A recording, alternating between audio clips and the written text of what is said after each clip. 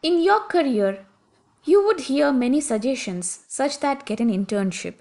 What is it? It's a temporary period of work experience offered by companies and typically performed by students. You get both paid and unpaid internships, and internships can provide you hands on experience in your desired field along with a clearer understanding of how businesses in that industry operate. Many will tell you get an internship even if it's unpaid, it's great experience, and so you do it. Lost in all this is what they won't tell you how to turn all that hard work into a full time job. Well, first of all, to go from intern to employee, you will need to do more than just deliver great performance. Interns think if I just do great work for my supervisor, I'll get job. But that's not necessarily the case. So, unlike the advices which you may have been getting, I'm going to clearly lay out exactly what you need to parlay your internship into a full time job. Isn't that what you've been looking for all this whole, whole time? So let's dig in Biotecnikans. The first point is make your inter- intentions clear.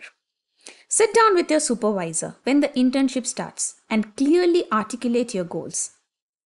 You can say, My goal is to perform at such a high level that I get a full time job offer. Your manager isn't a mind reader. So don't assume he or she knows that you want a job. Some college students only take up an internship to gain experience, acquire certain skills or test that what it's like to work in a particular industry. Additionally, you can also meet with a representative in HR to express your intent is to get hired. Human resources is going to hear of entry level job openings well in advance of the job being posted. So that's an important step. Next point is solicit feedback from your supervisor.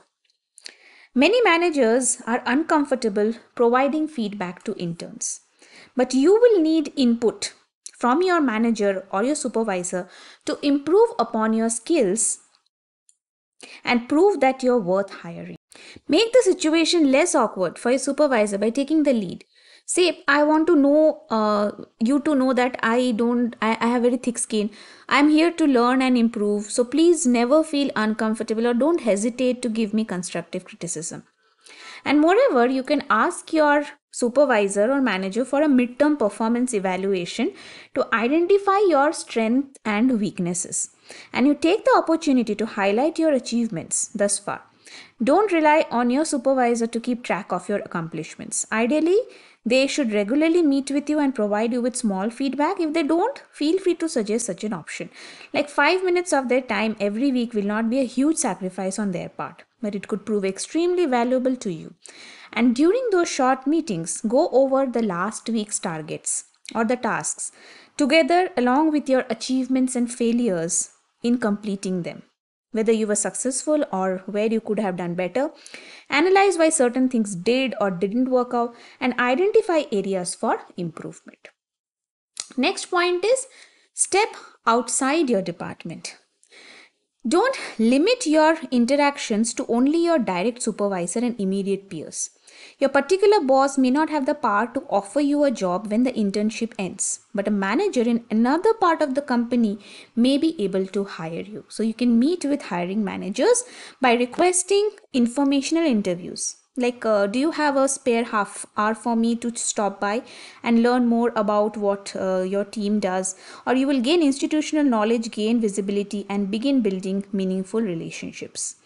Granted, your fellow interns may be meeting with the same people and um, it can last it can leave a more lasting impression with a simple trick get your business cards the company probably won't give you give them to you as an intern but you need to have your own cards and hand them to people so you can maintain communication and show you're already a professional.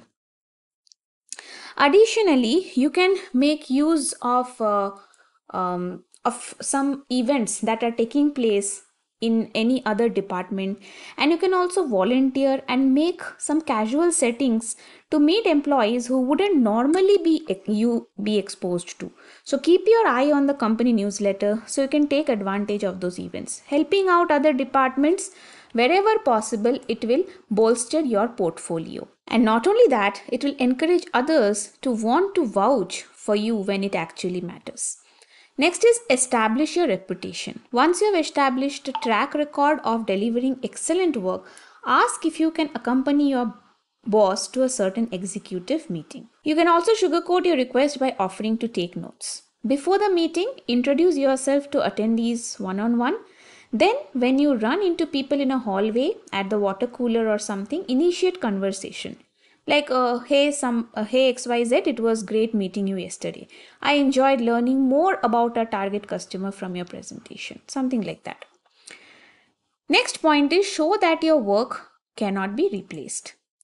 Provide consistent quality work so supervisors know that they can rely on you.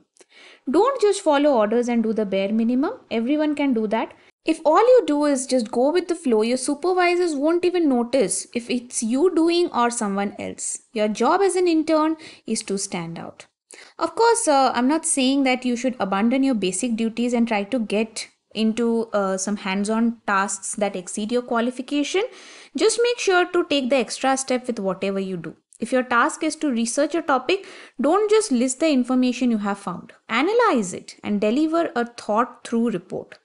Don't provide others with raw ingredients that they have to process. Demonstrate that you're capable of processing them yourself and you are saving their time. They will definitely appreciate it and take notice of the contribution you bring to the teamwork. So go uh, above and beyond. Don't abandon basic duties and do more than expected. Next point is show genuine interest in your work. Tackle easy repetitive tasks with enthusiasm. How you approach certain tasks is almost as important as getting them done on time. Interns will sometimes have to perform easy, repetitive, and also sometimes tedious tasks as well. Make sure to approach those with enthusiasm. Show your employer how grateful you are to play any role at all in their operation. This can help set you apart from the crowd when leveraging a full time position in the future. Identify issues not currently being addressed by the organization. So you can let them know that uh, by finding out those critical points, you care for the organization and you are a crucial point for them and they might be impressed by with that. Always be try to be a proactive learner. Very curious and uh, very enthusiastic. Always trying to grab whatever you have in front of you. Display capacity and flexibility that is you have to display adaptability. You have to let them know that you can you have to take responsibilities and also you have to be little flexible maybe on the time or the uh, job profile. Exhibit willingness to work hard. Supervisor loves ability to excel and also your malleability in as an intern. And on top of that if you are showing that you are ready to work hard for the organization then then definitely it's a cherry on top Next point is stay curious and ask questions. In your meetings with your manager, it doesn't hurt to prepare a few questions that don't directly have to do with your work that you're tasked with. Some examples could be uh, things you wonder about the uh, organization culture or other departments or any others you might have uh, the span wider. You could ask uh, about company best practices or the projects that other people are working on in their respective departments Maybe think about the company's goal for that quarter and ask what they have decided to go down that path. Now, that said, be mindful about the questions that you are asking. You want to make sure you're contributing to and not taking away from the conversation. So, some examples are here task related questions. They'll help you clarify assignments and increase your probability of doing them well. There's no harm in double checking your understanding of what's expected of you. For example, when you're asked to pitch ideas for a meeting, ask your manager if you're expected to provide a write up or give a short presentation. This shows that even though you are new, you are thorough. Next are insightful questions. They are great ways to spark conversation between colleagues and motivate people to think outside of their usual boxes. Like, for example, asking about your company's competitors, goals, or customers, or bringing up exciting industry trends when you and your team are trying to solve a difficult problem can help ground people in your mission and even inspire new ideas or ways of thinking. On the other hand, stay clear of lazy question ones that you can research on your own but too lazy to find out and that's your asking or even ill timed questions, ones that are off topic or disruptive, that can end up working against you. Next, a very important point is communicate, express. Don't be afraid to speak up. For example, if you have some deadline, then uh, maybe that task is dependent on some other person who may not be available before the deadline.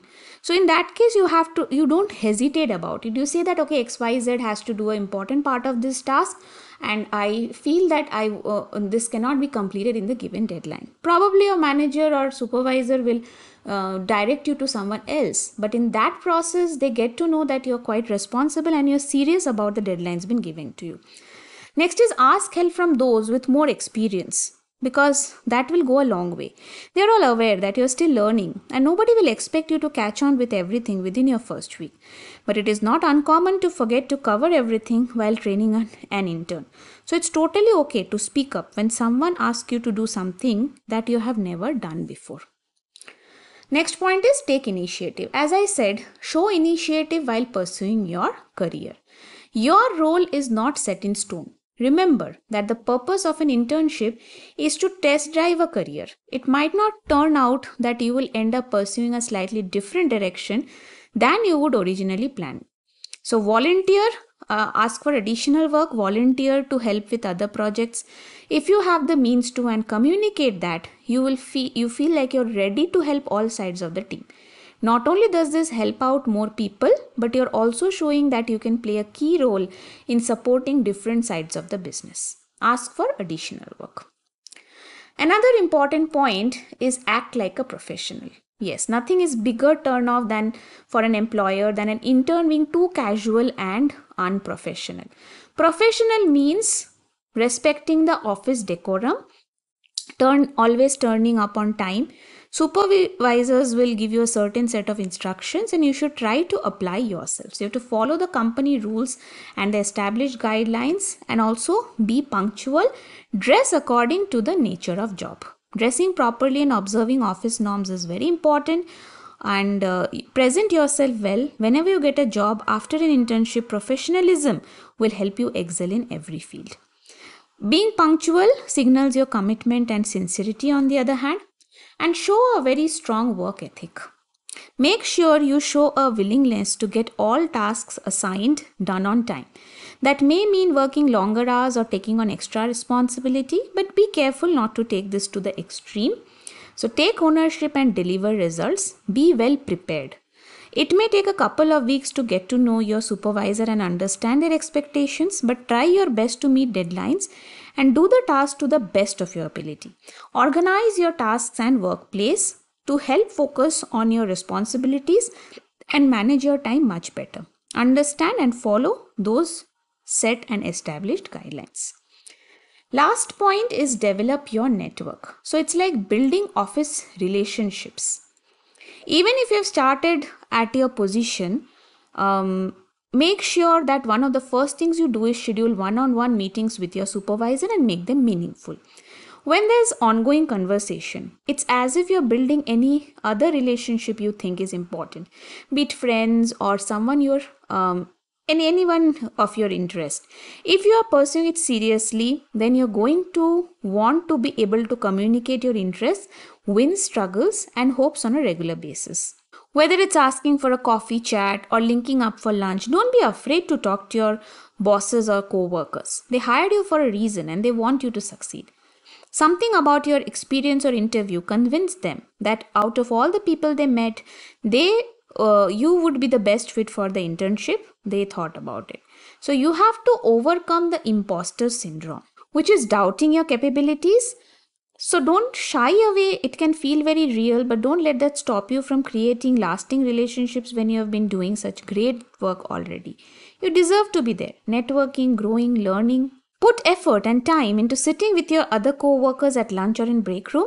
Just being friendly in general or throwing a smile here and there could go a long way. It can seem intimidating to strike up conversation with someone 5, 10, or even 20 plus years into their career, but your co-workers all understand what it's like to start fresh at a job. They want to help you succeed and see you grow. And if you put yourself out there, those people can become your biggest cheerleaders. So you have to develop your network. Being an intern at a company can bring a wide range of benefits. As well as experience and the opportunity to learn. It also puts you in touch with a whole new group of people. Developing a good rapport and friendly relationships with colleagues is crucial for any intern. Getting on well with those around you makes it easier for you to work as a team. Teamwork and collaborations are skills that employers value. What's more, developing relationships with colleagues can deliver many tangible benefits. If your colleagues see you as a valued team member, they might lobby on your behalf to give you a full time position. Even if they can't help you stay at your current firm, having a strong professional network will help your future job hunt. They may be able to refer you to friends and colleagues with other organizations, be it for an open position or an informational interview. So, what can you do to build connections? To start, try to learn from other people at your organization. Even every company has a few social butterflies, observe them.